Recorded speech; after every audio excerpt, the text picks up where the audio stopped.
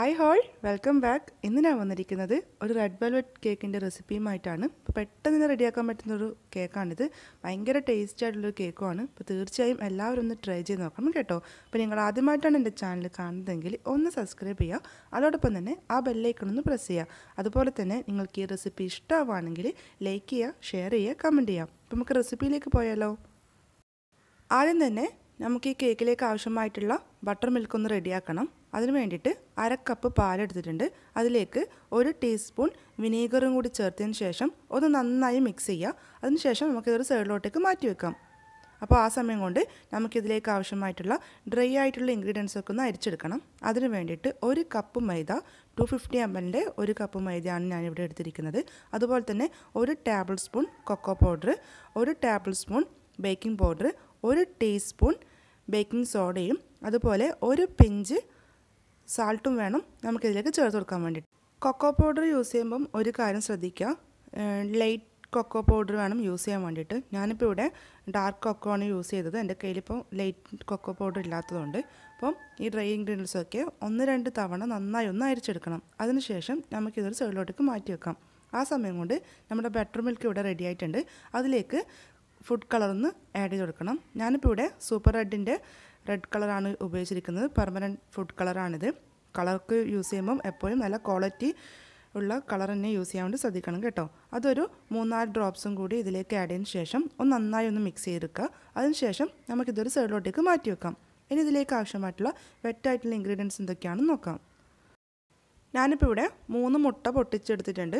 മുട്ടയുടെ വെള്ളയും മഞ്ഞയൊക്കെ മിക്സ് ചെയ്തിട്ടാണ് എടുത്തിരിക്കുന്നത്. അതിലേക്ക് ഒരു കപ്പ് പഞ്ചസാരയും കൂടി ചേർത്തിട്ട് വേണം നമുക്കിതൊന്ന് ബീറ്റ് ചെയ്യാൻ വേണ്ടിയിട്ട്. അപ്പോൾ പഞ്ചസാര ഒരിക്കലും തന്നെ ഒരുമിച്ച് ചേർക്കരുത്. അല്പ അല്പമായിട്ട് വേണം ചേർത്ത് കൊടുക്കാൻ വേണ്ടിയിട്ട്. അതിനുശേഷം നന്നായി ഒന്ന് ബീറ്റ് ചെയ്തെടുക്കുക. ഇനി ഇതിലേക്ക് കാൽ കപ്പ് സൺഫ്ലവർ ഓയിലാണ് ചേർക്കുന്നത്. അതും കൂടി ചേർത്തതിന് ശേഷം വീണ്ടും ഒന്ന് നന്നായി ഒന്ന് ബീറ്റ് ചെയ്തെടുക്കുക. ഇനി ഇതിലേക്ക് ഒരു ടീസ്പൂൺ വാനില എസൻസും കൂടി ചേർത്ത് കൊടുക്കാം. അതിനുശേഷം നമ്മൾ നേരത്തെ റെഡിയാക്കി വെച്ചിരിക്കുന്ന ബട്ടർ മിൽക്കും അതുപോലെ കളറൊക്കെ മിക്സ് ചെയ്തിട്ടുണ്ടല്ലോ അത് ഇതിലേക്ക് ചേർത്ത് കൊടുക്കാം. അതിനുശേഷം ഒന്ന് രണ്ട് മിനിറ്റ് വീണ്ടും ഐസ് സ്പീഡിൽ വെച്ച് നന്നായി ഒന്ന് ബീറ്റ് ചെയ്തെടുക്കണം. ഇനി ഇതിലേക്ക് നമ്മൾ ചേർത്ത് കൊടുക്കുന്ന നേരത്തെ അരിച്ച് മാറ്റി വെച്ചിരിക്കുന്ന പൊടികളുണ്ടല്ലോ അത് ചേർത്ത് കൊടുക്കാം. പൊടികൾ ചേർക്കുമ്പോഴും അല്പ അല്പമായിട്ട് വേണം ചേർത്ത് കൊടുക്കാൻ വേണ്ടിയിട്ട്. അതിനുശേഷം ഇതുപോലത്തെ ഒരു സ്പാച്ചിൽ ഉപയോഗിച്ചോ അല്ലെങ്കിൽ ഒരു സ്പൂൺ ഉപയോഗിച്ചോ ഒന്ന് നന്നായി മിക്സ് ചെയ്തെടുക്കുക. ഒട്ടും തന്നെ കട്ടകളില്ലാത്ത രീതിയിൽ വേണം നമുക്കിത് മിക്സ് ചെയ്തെടുക്കാൻ വേണ്ടിയിട്ട്.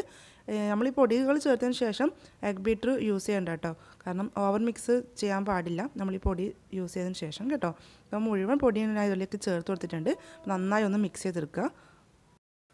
ഇനി നമുക്കിത് ഇതുപോലത്തെ ഒരു ബേക്കിംഗ് മോഡിലേക്ക് മാറ്റി കൊടുക്കാം ഞാനിപ്പോൾ ഇവിടെ ബട്ടറും അതുപോലെ കുറച്ച് മൈദപ്പൊടിയും മിക്സ് ചെയ്ത് വെച്ചിരുന്ന ബേക്കിംഗ് ടിന്നാണിത് അതുപോലെ ഞാനിപ്പോൾ ഒരേ അളവുള്ള രണ്ട് പാത്രത്തിലാക്കിയിട്ടാണ് ബേക്ക് ചെയ്യുന്നത്. നിങ്ങൾക്ക് വേണമെങ്കിൽ ഒരു പാത്രത്തിലും വെച്ച് ചെയ്യാട്ടോ ഇങ്ങനെ ചെയ്യുമ്പം നമുക്ക് കട്ട് ചെയ്യേണ്ടി വരില്ല. കാരണം രണ്ട് ലെയറായിട്ട് കിട്ടുമല്ലോ അതുകൊണ്ടാണ് ഇങ്ങനെ ചെയ്യുന്നത് കേട്ടോ. അപ്പോൾ പാത്രത്തിലേക്ക് മാറ്റിയതിന് ശേഷം ഒന്ന് നന്നായി ഒന്ന് ടാപ്പ് ചെയ്ത് കൊടുക്കുക. കാരണം എന്തെങ്കിലും എയർ ബബിൾസ് ഒക്കെ ഉണ്ടെങ്കിൽ അത് പൊക്കോട്ടെ. അതുപോലെ നൂറ്റി അൻപത് ഡിഗ്രിയിൽ ഒരു പത്ത് മിനിറ്റ് പ്രിഹീറ്റ് ചെയ്ത് വെച്ചിരിക്കുന്ന ഓവനിൽ വേണം നമുക്കിത് ബേക്ക് ചെയ്തെടുക്കാൻ വേണ്ടിയിട്ട്. ഏകദേശം ഒരു മുപ്പത് മിനിറ്റൊക്കെ മതിയാവും നമ്മൾ ഈ കേക്ക് റെഡിയാവാൻ വേണ്ടിയിട്ട്. അപ്പോൾ നോക്കുക നിങ്ങളെ ഓരോരുത്തരുടെ കേക്കിൻ ഓവന്റെ അനുസരിച്ചായിരിക്കും നമ്മുടെ ബേക്കിംഗ് ടൈം ഉണ്ടാവുക കേട്ടോ. ഏകദേശം ഇരുപത് ഇരുപത്തഞ്ച് മിനിറ്റ് കഴിയുമ്പോൾ ഒന്ന് ചെക്ക് ചെയ്യുക. അപ്പോൾ നമ്മുടെ കേക്ക് ഇവിടെ റെഡി ആയിട്ടുണ്ട്. കറക്റ്റ് മുപ്പത് മിനിറ്റ് കൊണ്ട് തന്നെ നമ്മളെ കേക്ക് നല്ലതുപോലെ പൊങ്ങി നല്ല റെഡിയായി വന്നിട്ടുണ്ട്. ഇനി നന്നായി തണുത്തതിന് ശേഷം ഞാൻ ഇപ്പോൾ ഇവിടെ രണ്ട് കേക്കിൽ നിന്ന് ഒരല്പം കേക്ക് എടുത്ത് മാറ്റി വെച്ചിട്ടുണ്ട്. ഒരു ഡെക്കറേഷന് വേണ്ടിയിട്ടാണ്. ആ മാറ്റി വെച്ചിരിക്കുന്ന പൊടി കേക്ക് ഉണ്ടല്ലോ അതൊരു അഞ്ചാറ് മിനിറ്റ് ഓവനിൽ വെച്ചിട്ടൊന്ന് ചൂടാക്കി എടുത്തിട്ടുണ്ട്. ആ സമയം നല്ല ക്രിസ്പി ആയിട്ട് വരും കേട്ടോ.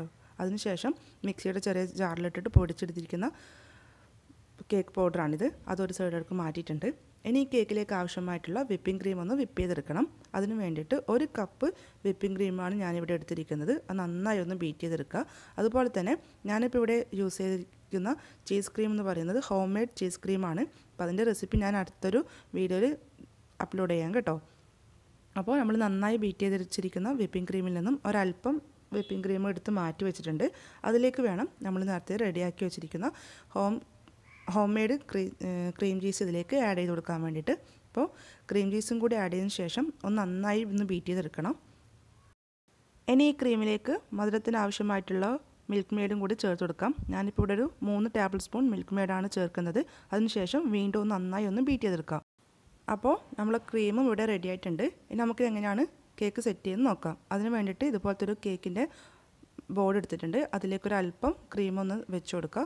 അതിന്റെ മുകളിലേക്ക് നമ്മൾ നേരത്തെ റെഡിയാക്കി വെച്ചിരിക്കുന്ന കേക്കിന്റെ ഒരു ലെയർ വെച്ച് കൊടുക്കാം അതിനുശേഷം ഇതിന്റെ മുകളിലേക്ക് കുറച്ച് ഷുഗർ സിറപ്പ് ഒന്ന് ആഡ് ചെയ്ത് കൊടുക്കണം കേക്ക് നല്ല നനവ് വരുന്ന രീതിയിൽ തന്നെ നമുക്കിതിലേക്ക് ഷുഗർ സിറപ്പ് ആഡ് ചെയ്ത് കൊടുക്കാം അതിനുശേഷം നമ്മൾ നേരത്തെ റെഡിയാക്കി വെച്ചിരിക്കുന്ന ക്രീം ഉണ്ടല്ലോ അത് ഇതിന്റെ മുകളിലേക്ക് വെച്ച് കൊടുക്കാം ഇനി ഇതുപോലത്തെ ഒരു നൈഫ് ഉപയോഗിച്ചിട്ട് ഒന്ന് ലെവൽ ചെയ്യുക. അതിനുശേഷം മറ്റേ ലെയർ കേക്കും കൂടി ഇതിന്റെ മുകളിൽ വെച്ച് കൊടുക്കാം പിന്നെ നമ്മൾ നേരത്തെ ചെയ്ത പോലെ തന്നെ ഷുഗർ സിറപ്പ് ആഡ് ചെയ്ത് കൊടുക്കാം അതിന് മുകളിൽ ക്രീമും കൂടി ആഡ് ചെയ്തിട്ട് ഒന്ന് ജസ്റ്റ് കേക്ക് നന്നായി കവർ ചെയ്യുന്ന രീതിയിൽ നന്നായി ഒന്ന് ക്രീം കൊണ്ട് കവർ ചെയ്തെടുക്കുക.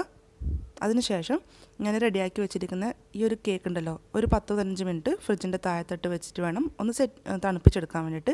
അതിനുശേഷം എടുത്ത് വേണം നമുക്കിത് വീണ്ടും ക്രീമൊന്ന് നന്നായി തേച്ച് പിടിപ്പിക്കാൻ വേണ്ടിയിട്ട്. ഇനി നമുക്ക് ഈ കേക്ക് ഒന്ന് ഡെക്കറേറ്റ് ചെയ്തെടുക്കണം. അപ്പം അതിന് വേണ്ടിയിട്ട് നടുഭാഗത്ത് ഇതുപോലത്തെ ഒരു പാത്രം ഞാൻ വെച്ച് കൊടുത്തിട്ടുണ്ട്. അതിനുശേഷം ഇതിന്റെ സൈഡിലും അതുപോലെ മുകൾ ഭാഗത്തുമൊക്കെ നമ്മൾ നേരത്തെ പൊടിച്ചു വെച്ചിരിക്കുന്ന കേക്ക് ഉണ്ടല്ലോ അത് നന്നായി ഒന്ന് ഇട്ടിട്ട് നന്നായി ഒന്ന് കവർ ചെയ്തെടുക്കുക. അതിനുശേഷം നമ്മൾ നേരത്തെ വെച്ചിരിക്കുന്ന ആ പാത്രം ഒന്ന് മാറ്റി കൊടുക്കാം നമ്മൾ ടേസ്റ്റി ആയിട്ടുള്ള കേക്ക് ഇവിടെ റെഡി ആയിട്ടുണ്ട്. തീർച്ചയായും എല്ലാവർക്കും ഇഷ്ടപ്പെടും. എല്ലാവരും ഒന്ന് ട്രൈ ചെയ്ത് നോക്കണം കേട്ടോ. ഇങ്ങനെ റെഡിയാക്കി വെച്ചിരിക്കുന്ന ഈ കേക്ക് മിനിമം ഒരു ഒന്ന് രണ്ട് മണിക്കൂറെങ്കിലും നന്നായി തണുപ്പിച്ചതിന് ശേഷം വേണം നമുക്കിത് കട്ട് ചെയ്തത് യൂസ് ചെയ്യാൻ വേണ്ടിയിട്ട്. അപ്പം തീർച്ചയായും എല്ലാവർക്കും ഇഷ്ടപ്പെട്ട് കാണുമെന്ന് വിചാരിക്കുന്നു. വീണ്ടും അടുത്ത റെസിപ്പിയുമായി വരാം. അതുവരെ എല്ലാവർക്കും താങ്ക്